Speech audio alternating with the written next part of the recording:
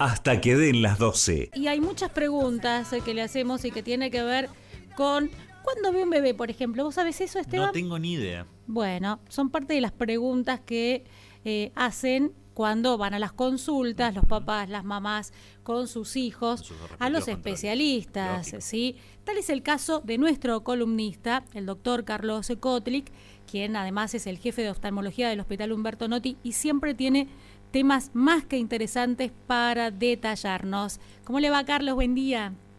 Hola, buenos días, Anita, ¿cómo te va? Muy bien, muy bien. Está Anita, está Karina, está Natalia, está Esteban, está, oh. todo el mundo acá para escucharlo. Equipo completo porque queremos saber todo lo que usted nos tiene para contar hoy.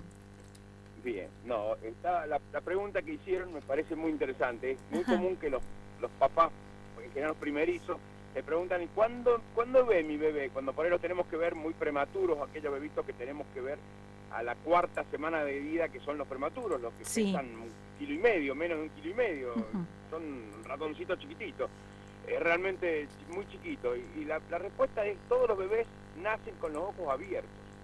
No, no, no somos perritos que nacemos con los ojos cerrados, o sea que están con los ojos abiertos y la luz está llegando y estimula y llega a la retina.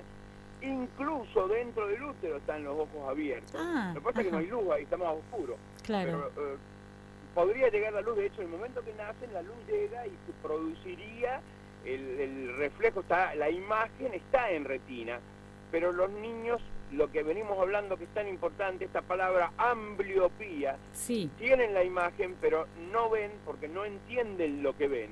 Del mismo modo que uno puede escuchar chino y, está escuchándolo, pero no entiende ni cuándo termina una palabra ni cuándo empieza otra, porque no tiene desarrollado la capacidad de entender ese idioma. Digamos que somos ambliopes al chino, del mismo modo los bebés son ambliopes en el sentido que no tienen las conexiones, hemos dicho los cables, las dendritas, las sinapsis, los contactos de, neurona a neurona, que son los cables que van del ojo al cerebro, como ya hemos explicado, y por lo tanto no entienden lo que ven, no ven, no tienen que ver para aprender a ver. Y acá hay algunos estudios interesantes, que son los que algunos alumnos me han dicho que podía comentar en, en la radio, que es lo siguiente. Eh, habíamos dicho que la, visión final, la imagen, la parte más importante donde se analiza la visión está en el occipital, en la parte de atrás de la cabeza. Ahí es donde llamamos el cerebro óptico, esta parte. Sabemos que en el cerebro óptico tenemos algunas columnas de neuronas que son estimuladas exclusivamente por estímulos verticales, por líneas verticales. Otros que son estímulos horizontales, otros que son oblicuos, otros que son cinéticos de movimiento, o sea que ahí está muy organizado. No todo responde a todo, sino algunos verticales, unos horizontales, unos cinéticos, unos redondos, estímulos redondos. Estamos eh, viendo que está muy organizado en el occipital. Y una de las cosas interesantes que ocurre con los bebés cuando nacen es que los bebés nacen, toman teta y toman teta y miran la cara de la mamá. Y eso es muy importante que miren la cara de la mamá, eso lo saben todas las madres, lo han hecho durante miles de años, cientos de miles de años la especie humana, todos los animales. Y hoy sabemos que al mirar la cara de la mamá va estimulando algunas de estas columnas de neuronas de modos específicos. Por ejemplo, sabemos que la nariz de la madre, que la nariz de la madre va a estimular y va a formar esa imagen correcta que está en la retina, va a llegar al cerebro y va a estimular de por vida la columna de neuronas de estímulos verticales. Eso significa que cada vez que vemos algo parado, algo derecho, un cuadro, que vienen algunos y por ahí me dicen, este cuadro no está muy derecho y te lo tuercen, lo que están viendo en realidad es la nariz de su madre, que no estaba muy derecho y por eso les molesta y te corrigen el cuadro. A ver si, me explico, este es un detalle que por ahí es interesante saberlo. No tenía ni idea, doctor. Mire usted. Es realmente muy interesante, por eso me pedían que, que lo comente. Claro. Sabemos que la boca de la madre estimula la columna de neuronas horizontales. Porque la boca, si, si una madre no tuviera boca, uno no podría tener nunca la idea de la horizontalidad.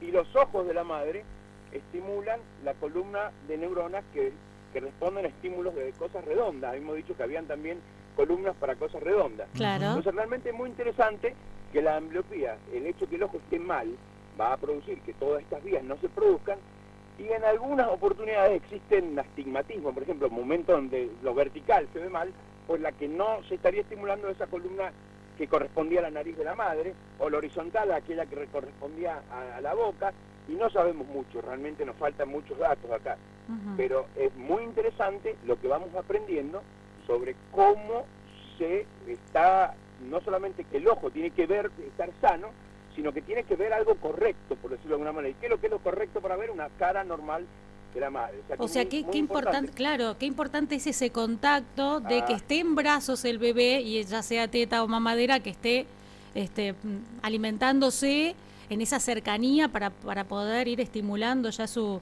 su visión. La verdad que no tenía la menor idea y está bueno saberlo, doctor.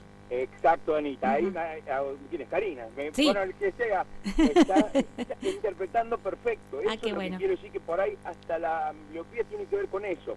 Tiene estar en brazos de la madre, que lo hacen los animales, lo hace es una cosa natural, pero hoy sabemos lo importante que es.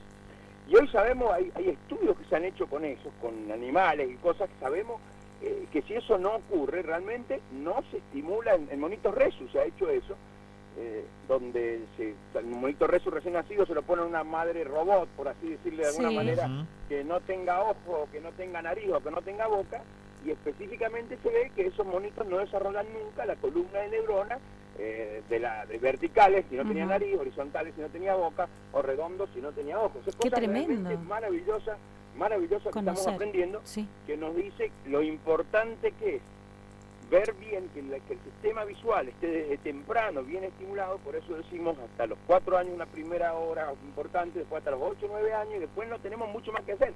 Porque si no creamos todas estas, todas estas vías, si no creamos todo este cableado, si no estimulamos todas estas neuronas, después estamos fritos. Ahora estamos con, podemos alguna vez otra vez hablar de los tratamientos modernos que tenemos como para volver el cerebro joven cuando uno tiene 20 años, 10 años, 30 años, para que al tapar el ojo, al estimular de nuevo, pueda volver a crecer todo esto.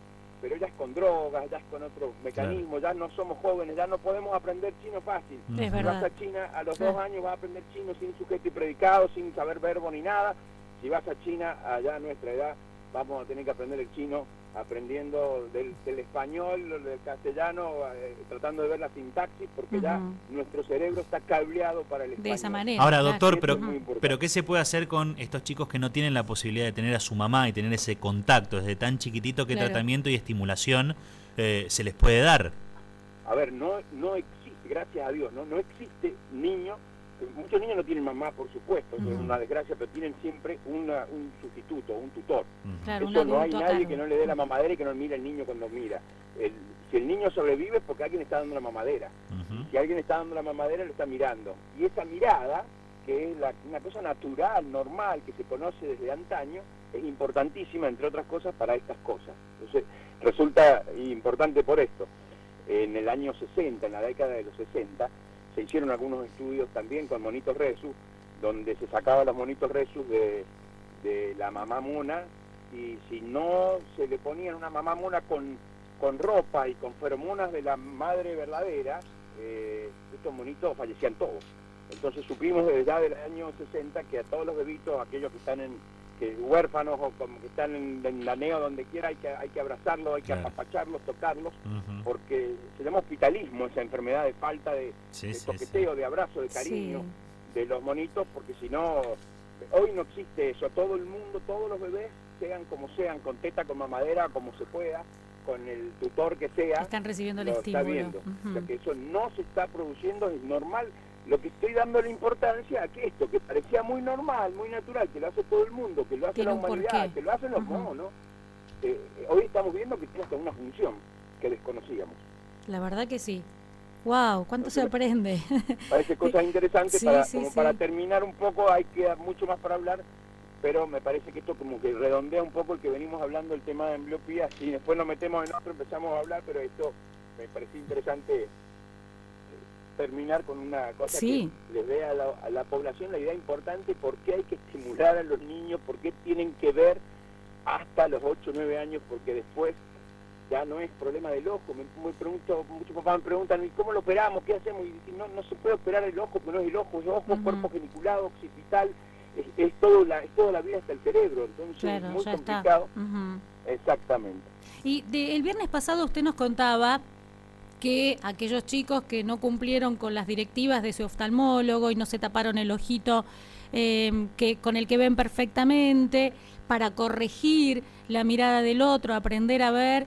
Ya pasaron los nueve años, eh, ¿qué, ¿qué, va a pasar con ese, con ese chiquito? ¿Va a tener que usar lentes de por vida? ¿Cómo es el tema? Ah, no, no, no. El tema lente es independiente de esto. Ah, que use lente o que no es otra cosa. Puede usar lente por vida o no es independiente. El, tema es que si hasta los 8 o 9 años no lograste que el niño vea, que haga la conexión. Más que lente en el futuro no va a poder ver. Bien. O por más que le, opere la catarata en el futuro no va a poder ver. O por más que le saque la sangre que tenía dentro del ojo, pero no. El motivo que sea por el que no ve, si vos no lo curaste antes de los 8 o 9 años, después no va a desarrollar, no va a estimular todas estas vías que estamos hablando y no va a poder ver, hagas lo que hagas. Muy bien.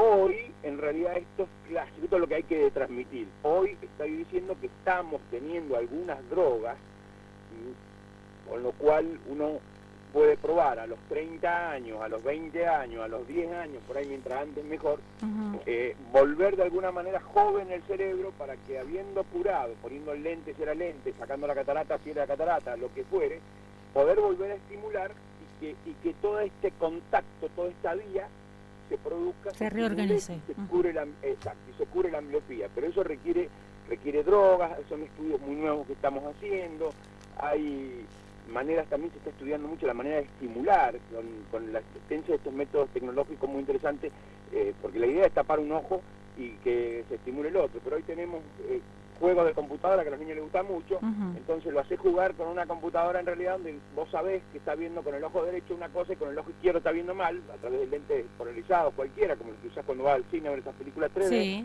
y vos sabés que está estimulando un ojo a pesar de no tenerlo tapado, que al chico le molesta menos y está estimulando. Hay muchísimos estudios que se están haciendo que es realmente muy lindo, pero lo importante es que tenemos que saber que hay una edad límite todavía y si pasamos esa edad ya la cosa se complica mucho más, mientras que antes de los 8 o 9 años pueden haber estos esto iPad, estos juegos de computadora, o podemos tapar el ojo, podemos, pero es la edad donde estimulando lo vamos a lograr que esta vía se organice.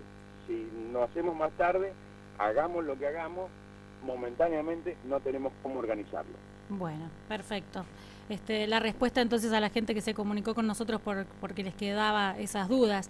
Eh, va generando esto, doctor, va generando que nos convertimos en ese nexo entre la gente que nos escucha y que se queda con dudas sobre el tema y bueno, este, nos encanta poder, poder hacer eso y brindar la información. Me parece perfecto, esta es parte de la tarea que tenemos que hacer del Servicio de Tecnología del Hospital Noti, entonces si tienen las preguntas, las cuando quieran, también podemos contestar las preguntas que vayan queriendo, que vayan apareciendo. Es muy importante que, la población vaya sabiendo qué que estamos haciendo y qué tienen que hacer para cuidar su salud visual. Uno de los objetivos del servicio del hospital. Perfecto. Y yo le voy a decir algo que seguramente nunca se lo dijeron. Buen fin de semana y nos estamos viendo. Ah, qué gracioso. estamos viendo entonces. Muchísimas gracias. Doctor, abrazo enorme. Listo. Hasta luego. Con el gracioso de Esteban Rodríguez, allí estaba en su columna, el doctor Carlos Kotlik, es el jefe de oftalmología del Hospital Noti, brindando siempre información más que útil. Hasta que den las 12.